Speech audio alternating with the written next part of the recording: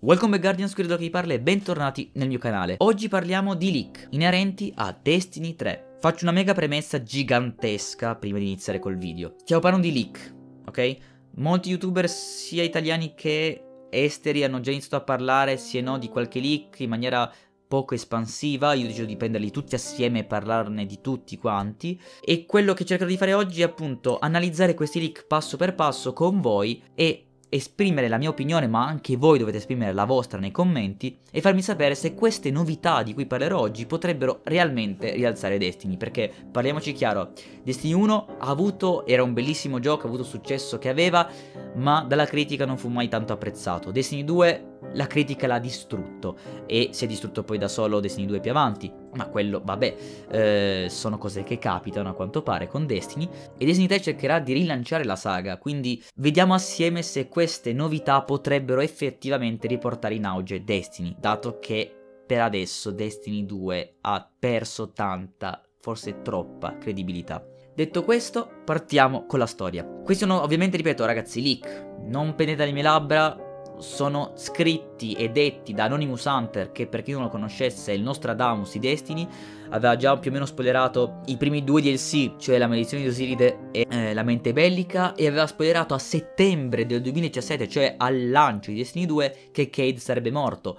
Molti non gli diedero credito, un anno dopo invece sì, dato che appunto Cade purtroppo morì realmente, e quindi si sta facendo un po' di fama Anonymous Hunter, però, ripeto, sono leak, Vediamoli assieme e partiamo dalla storia. La storia si dice sia enormemente più dettagliata rispetto a quella di Destiny 2 e l'attacco Cabal alla torre e al viaggiatore non sarà mai paragonabile a quello che avverrà in Destiny 3 da parte delle navi triangolari. Difatti si dice che la, l'attacco sarà devastante eh, per l'ultima città e distruttivo verso il viaggiatore. Sappiamo che tutte le, forze del sistema solare saranno in lotta tra di loro, le fazioni che sono legate alla luce lotteranno contro l'oscurità e così viceversa. Sappiamo che l'oscurità da noi conosciuta sarà mm, portata avanti dalla razza chiamata i Veil, cioè i Velo, e saranno loro a controllare le navi triangolari. Sappiamo inoltre che Caduti e Cabal saranno finalmente in una sorta di alleanza con i guardiani e quindi saranno alleati della luce. Ora, questa cosa qua più o meno la sapevamo già e ve ne ho già parlato io e anche tanti altri youtuber di lore perché appunto lo potete vedere anche voi che i caduti pian piano stanno sempre più mollando i loro ideali malvagi, tra virgolette, e stanno sempre più diventando buoni o comunque legati alla protezione della luce. I Cabal sono più neutrali, ma soprattutto quelli legati al, all'imperatore Calus sono già più sul buono rispetto a quelli legati alla Legione Rossa. Quindi diciamo che ehm, queste fazioni sono quelle più appetibili ad un'alleanza e probabilmente la vedremo appunto in Destiny 3. Inoltre si dice che incontreremo i Nove e anche su questa notizia penso che sia effettivamente vera, dato che la, l'emissaria dei Nove ogni venerdì in pratica ci sta portando sempre più vicino a questa entità.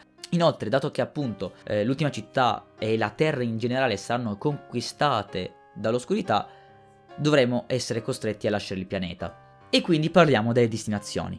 Partendo dal fattore che le mappe saranno, e si dice, più grandi rispetto a quelle di Destiny 1 e Destiny 2 messe assieme, quindi wow, molti più settori perduti, molte più nascondighi, molti più intrighi da svolgere all'interno delle mappe perché appunto saranno più evolute, saranno molto più grandi. Ma le mappe, le destinazioni che andremo ad incontrare in questo fantomatico Destiny 3 saranno Europa, che non è quella presente nel pianeta Terra, ma principalmente una luna di Giove. Old Chicago, cioè la vecchia Chicago di cui ne ho parlato con la lancia gravitazionale, che è una vecchia città eh, colpita dalle radiazioni atomiche e che è stata appunto eh, abbandonata dopo la sconfitta da parte del viaggiatore verso l'oscurità. Infatti questa città cadde con l'arrivo dell'oscurità nel nostro sistema solare la prima volta e da lì fu appunto lasciata se stessa. Adesso è una zona paludosa e sarà molto interessante perché appunto andiamo in America, finalmente direi, perché con Destiny abbiamo sempre visto un po' l'Europa, abbiamo visto un'Europa orientale, sempre più orientaleggiante, siamo passati adesso in Germania con appunto il rifugio eccetera eccetera, ma comunque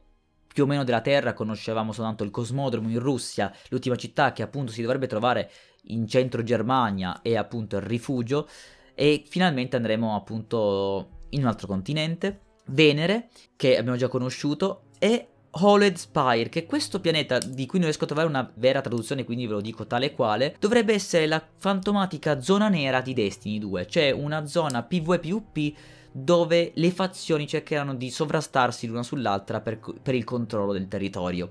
E questa veramente è una cosa molto interessante. Parlando di fazioni, appunto, parliamo delle fantomatiche fazioni che saranno presenti in questo Destiny 3, di cui sappiamo già che potrebbero avere dei perk, cioè unirsi a una fazione ti porta dei perk specifici al tuo personaggio. E partiamo da appunto da quelli che conosciamo già, cioè Culto Guerra Futura, Orbita Morta e Nuova Anarchia, che saranno a quanto pare sempre presenti, magari con diversi ideali comunque, perché comunque dopo un attacco così devastante cercano di prendere il sopravvento l'uno sull'altra per il controllo di quel che rimane dei guardiani, degli ultimi umani sulla Terra.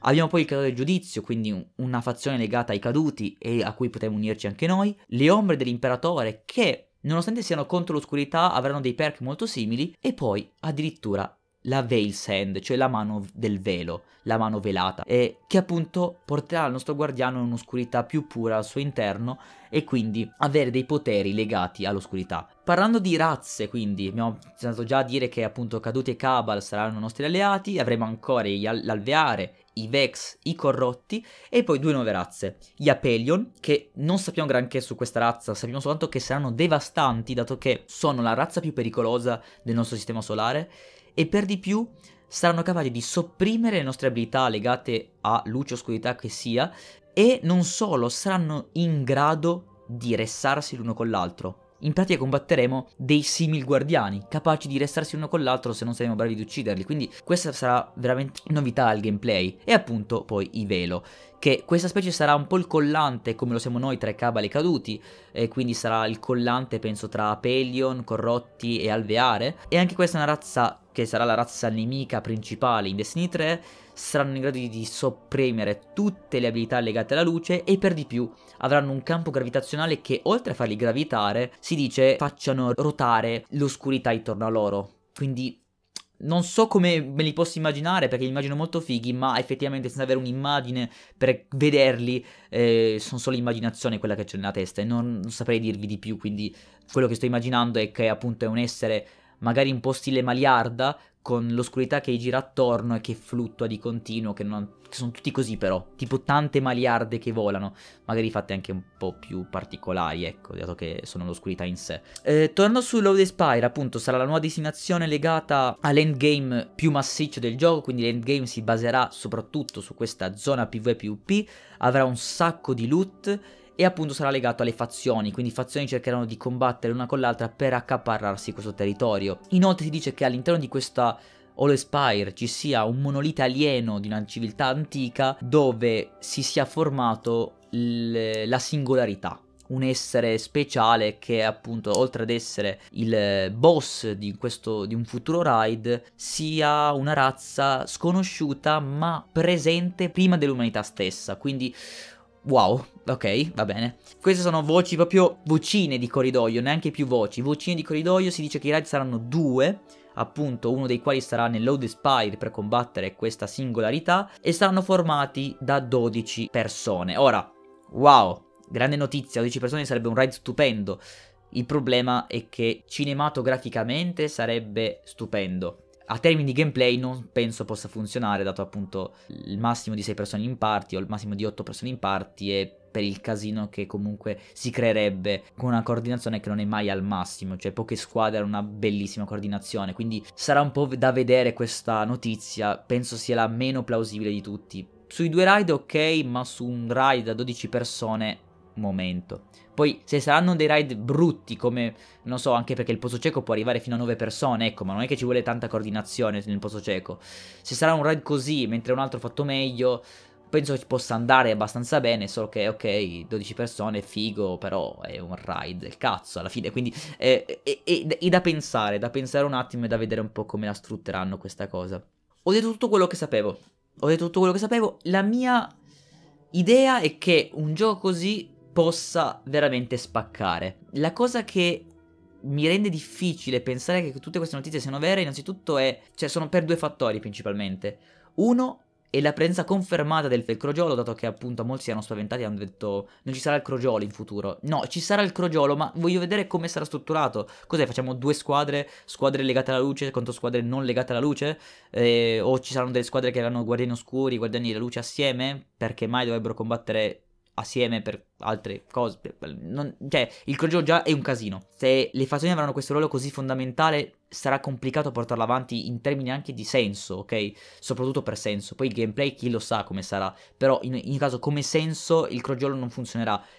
Non sappiamo se ci sarà sarà ancora chiamato crogiolo e non sappiamo come funzionerà, quindi giustamente io metto le mani avanti e dico soltanto che come adesso non potrebbe funzionare per sensi logistici. Altra cosa che mi spinge un po' a pensare è che sarà complesso il tutto è la storia. Storia che non so come potrà incidere se uno si lega una fazione a un'altra fazione. Cioè, eh, se io sono legato all'oscurità, cosa combatto? I guardiani? Faccio crogiolo? Cioè, e, e il mio obiettivo qual è? Proteggere l'oscurità? Perché dovrei essere legato all'oscurità? Perché, cioè, mi sto facendo troppi quesiti e che, avrò, che avranno risposto tanto in un Destiny 3. Quindi, sotto questo aspetto è complicato avere, diciamo, chiarezza sul gioco che avremo. Quello che posso dirvi è che per adesso le notizie sono tutte fighe. Ma Destiny ha sempre notizie fighe, poi è quando arriva, quando arriva il momento di giocarlo che ti passa la voglia. Quindi speriamo che effettivamente mantengano ciò che si è scritto nei leak. Fatevi sapere la vostra qua sotto. Il video è durato parecchio, ma c'era bisogno di parlarne e um, niente. Ci vediamo ad un prossimo video. Fatemi sapere qua sotto quello che pensate, ragazzi. Ditemi voi la vostra, eh, perché sono veramente curioso di sapere di tutti un commento. Cioè, voglio sapere da tutti quelli che vedono il video. Sì, bello, no, fa schifo. Destiny è morto, Destiny è vivo. Fatemelo sapere qua sotto. Bella guardiani.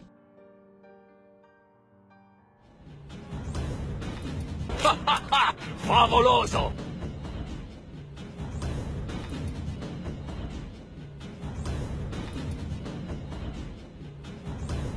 non finirà finché non canto vittoria! E io non canto mai!